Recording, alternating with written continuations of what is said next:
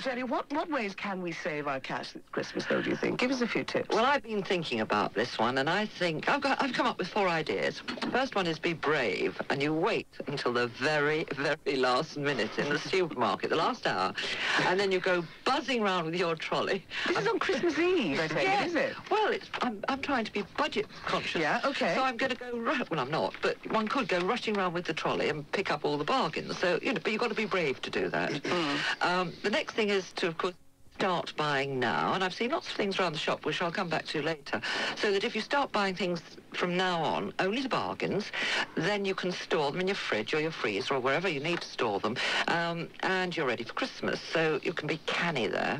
And you see, the real trick there, I think, is, isn't it, that if you, if you're, if the shops have these, what do they call them, lost leader sales, which Yes, entice you in, the real bargains. Absolutely. The, the trick is to buy just the bargains Yes. and walk yes. out. Well, that that's another tip you've just p- pinched from me. Oh, that's one of my because- own as well. Oh, yeah, but I, I right. never live up to it. I have to say, it's one. It's, it's a thing that I always think. You know, they're really, Yeah. really screwing you now. Because here I go. I saw that thing in the window, thought it was a good idea, but I go out with a truckload of Yes, stuff. that's it. And I, I was going to say, actually, only buy the bargains and then walk out. Mm. Don't be tempted at, uh, with all the other stuff you see. So you can really budget then. The other idea is actually to talk to your friends and family and say, come on, let's all share this. And somebody provides the starter, somebody else pays for the turkey, somebody else the veg, and so on and so forth. But I would suggest there that everybody chips into the booze because um, that's quite heavy for one person. Mm. So you can be different in that instance. And the other one is be clever. Uh, have a chat with your, your friends and neighbours, and instead of buying sort of a half a dozen mince pies, buy a dozen mince pies and then split the cost between you because larger quantities are usually cheaper. So, you know, I feel there's, there's ways you can do it depending on your mood. I, I like the fun of um, rushing around the supermarket, but I don't know how to do it. I like that idea too, but I think it's maybe to be recommended for those who don't have to ha- entertain people that they want to impress. yeah, oh yes, Yeah. definitely. Otherwise they could be in real trouble, you know, fish fingers and chips. it's been done before. Is it the case, do you think, that late in the day on Christmas Eve there's still a lot? I mean, would you find a turkey, for example? Oh yes, yes. Oh yes. Uh, um, in fact, I was reading something today. Somebody said that they'd done what I was going to suggest uh, last year, and they actually do come up with the bargains. But you have to have an alternative in mind. You know, it's no good saying, "Well, I'm definitely going to have a turkey, come what may," because you'll probably be dead by the time you find it. But um, if you can do it, fine. If not, go for a chicken or partridge or something else that's different. But it's really worthwhile. And Absolutely. Clever, I suppose, about it. Tell the family that maybe this Christmas we'll have something different, you know? Absolutely. And I'm be a surprise. There's the one, exactly. Very good idea. Free call 0500 1053 89. That's the number you need to get through to my two Christmas consultants here, Jolly Jenny and Merry Mike. And of course, they're all set, ready, poised to sort out your festive finance. We're only getting going now, really. I'm Bibi Baskin, your new voice on Saturday nights, and this is Talk Radio. Talk to Bibi Baskin. Free call 0500 10 53 89. Yeah, it's the big countdown to December the 25th, and my Christmas consultants, Mike and Jenny, are here to deal with all your calls on 0500 1053 89. So let's hear from you right away, 0500 1053 89. Um, let's have some more bargain ideas, Jenny. Yes, well, um, now, I, it depends really, but I think let's just go on to buying things. You know, I was saying earlier about buying bargains now and putting them away. Yeah. I had, a, I had to search around some of the supermarkets this week just to see it out of interest. Um, remember, you don't have to buy a whole turkey. You can buy it in pieces. Hmm. And, um, Which makes it easier to carve then, too. Well, you can wouldn't a whole piece of turkey to somebody. You don't have to bother. But if you're really into carving, then I saw a breast joint which was quite big uh, for four pounds, which I thought was quite a good buy. If you were serving four, that's pound a head. The other thing we all tempt, we're rather tempted to do is buy an enormous pudding, and only a tiny, tiny piece of it is eaten. So don't waste your money on a great big Christmas pudding. Buy four mini ones. Mm. Much cheaper. I've, I've had a look, and they are. Oh, good idea. I had inspiration, I thought. I bet everybody out there's done it, but you know you can get bargain chocolate gâteaux nowadays. No. Well, you can. For 99p, and they're not bad. Buy one of those, sprinkle it with icing sugar, and stuff in a, a Christmas tree or a Father Christmas on top, and boom, you've got your Christmas good. no Excellent. problem. Yeah. Uh, the other thing that I saw... L- Let yeah. me give out our number again, because Peter's just told me I've been forgetting Ah. about it. Yeah, free call 0500 1053 89. Uh. Lest you should forget, give us a call right away. Free call 0500 1053 89. Sorry about that, but better to do it now Oh, than later, yes, Jenny. yes. Well, somebody may have some better ideas than I've come up I with. I think you're doing pretty good. Um, oh, the other thing I saw, you know, we all we all tend to buy ham, those of us that eat meat, and it's quite expensive. But I notice now that lots of the supermarkets are doing it in sort of big packets. It's wafer thin strips. Now, if you buy that, you've got plenty for a, a pound in weight or 400 grams, two pounds and ninepence. You couldn't do better. And all you do is put these thin strips in, you know, in a, in a pile, and they're really quite good. Um, Wine, well, of course, we all know about wine bargains, but I did find one this week under uh, three pounds. They'd taken a pound off. Um, and drinkable. drinkable. Oh, yes, I've tried. I tried it. I should have you caught known. me out again. Should have known. all in the, uh, all for the sake of your work, of course. It was course. research, that's all. Absolutely. But but how do we find these bargains? I mean, you're good, obviously, at nosing out these things. I mean, should we read the papers, the weekend papers, listen to talk radio? Of course, it goes without saying. Absolutely. Yes, the thing is that lots of the newspapers now do give a rundown of special buys. The supermarkets are advertising quite a lot nowadays on the television, and also I've noticed that uh, they have handouts now which illustrate the sort of things they're going to do. I mean, recently, I think it, one, of the supermarkets, uh, Iceland, was giving away a chicken. Uh, no, not giving away the chicken, but you bought the chicken and got veg free. So just keep an eye on the papers and also on the window placards because a lot of them put some decent bargains up. But back to what you and I were saying earlier, only buy the bargains. Don't get waylaid. That's the old discipline Yes, thing. absolutely. Yeah. Uh, let's take another call. Danny from London. You're on Talk Radio. Hello, Danny. Hello there. Good good evening. Good evening to you. How are you? I'm okay, thank you very Good. much. I, I've just been listening to your uh, radio show, Mm-hmm. and I, I just can't believe that what's the big deal about turkey, you know, because in the, in the summer, Yeah. honestly, in the summer you can buy turkey for next to nothing. Mhm. It comes up to Christmas, and they want to charge silly prices for it. Well done. You found bargains in the summer. Now, that's one of the things I would always say, and in fact, I do it.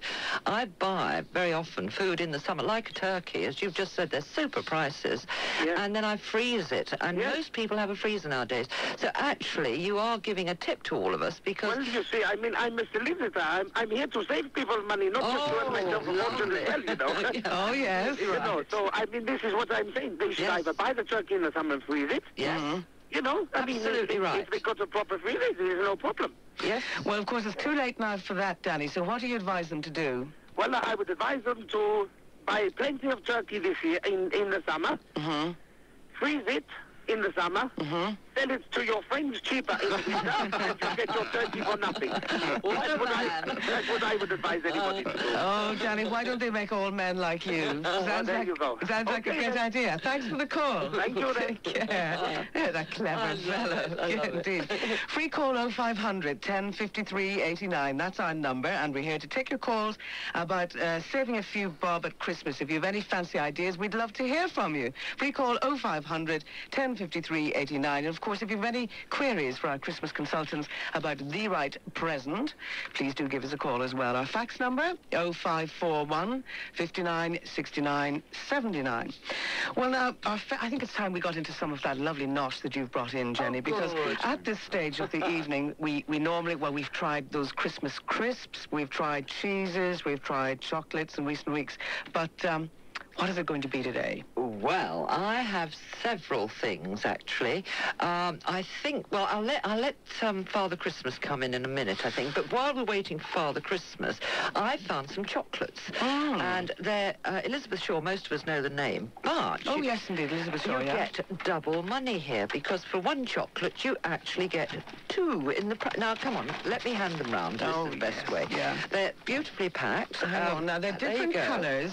I see here gold, uh, strawberry. Right. Is that a, going to be strawberry chocolate inside? Ah, now when you open it, Oh, you find, depending on which one you've chosen, you could have hazelnut as one chocolate and Ah. almond pra- praline Can I have or praline as the other. Yeah, oh, piggy, Mike. piggy, piggy. Ignoring me this. Oh, you've got a fudge and, and on one chocolate and a vanilla on the other. Nice. Oh, so nice. two in one. Two in one. So, although they are about, um, I think it's three ninety nine. Remember, I know I'm on to bargain day today, so you're getting two chocolates for the price of one. Added to which, everyone tries to be polite at Christmas. You know, you're dying to have a second chocolate. You have to wait for ages. Well, this way you've got two, and you don't have to wait. So it's actually two separate chocolates wrapped up in the one. Um, Yes, like a little round truffle. Mm. They're nice, aren't they? Oh, they are delicious. Absolutely. Yeah. And when you finish that one, you can try the other one.